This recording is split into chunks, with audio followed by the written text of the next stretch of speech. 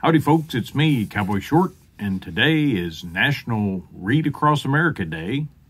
March the 2nd is uh, Dr. Seuss's birthday, and so that's how we celebrate it here. And so today we're going to read the wonderful story called Barney's Horse by Syd Hoff. Wonderful author, illustrator, lots of good books with horses in them. Long ago, horses pulled wagons up and down the streets. They were there were even horses that pulled streetcars. Barney the peddler rode down the street with his horse and wagon, shouting, Apples, onions, potatoes! Get your apples, onions, potatoes right over here. There's Barney. Didn't say what his horse's name is. Ladies came out of their houses to buy him, from him. Barney's horse stood at the curb waiting. He swished his tail to chase the flies. Children petted him and fed him sugar cubes. That's good, children. Always be kind to animals, said Barney the peddler. Barney let him sit on his horse's back. He let him ride on the wagon around the block. Then Barney would ride off to another street. Goodbye, children, called Barney. I will see you tomorrow. One day, men came with picks and shovels. They started to dig. Barney and his horse stopped at the curb and watched. Soon people will be riding on trains over our heads, said Officer Muldoon. The city, a city has to grow, said Barney the peddler, and he petted his horse. There's Mr. Officer Muldoon. All day, Barney sold fruits and vegetables all over town. When it got late, people heard clippity clippity clop as Barney headed back to the stable. Barney brushed his horse and put a blanket on him. Good night, sleep tight, said Barney. He went to sleep right next to his horse. There's Barney and his horse. It was the day the train started running. People climbed the stairs to get on them.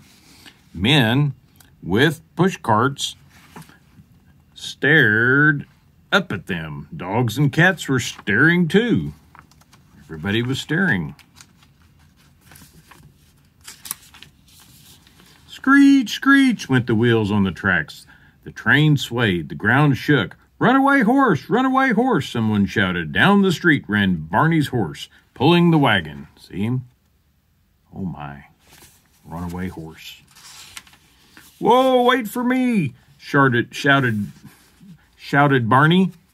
But Barney's horse ran faster and faster. Can't catch him. Children tried to catch him, but Barney's horse was too fast for them. Officer Muldoon stepped off the curb and waved his arms. Whoa, old feller, whoa, he said softly. Nobody wants to hurt you. Barney's horse came to a halt. He let the policeman hold him and and pet him until Barney caught up with them.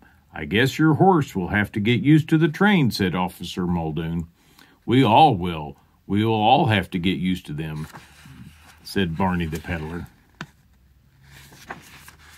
Barney petted his horse. He gave him a big, juicy apple.